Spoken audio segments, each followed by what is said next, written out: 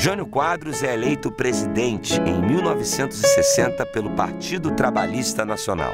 O slogan da campanha contava com um jingle que pedia que uma vassourinha varresse a bandalheira.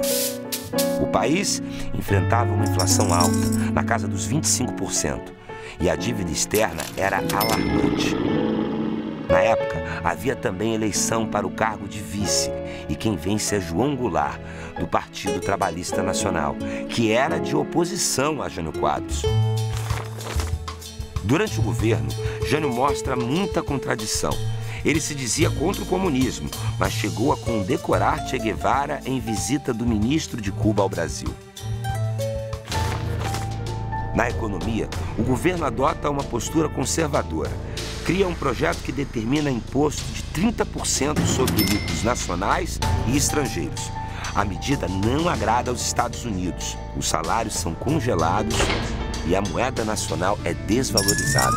A inflação não diminui e Jânio perde popularidade. O presidente perde também o importante apoio da União Democrática Nacional, partido que tinha grande representação no Congresso.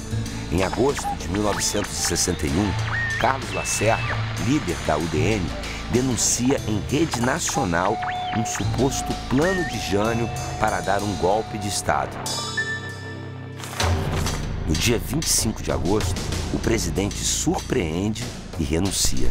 Em carta enviada ao Congresso, ele diz que forças terríveis o levaram a pedir a renúncia.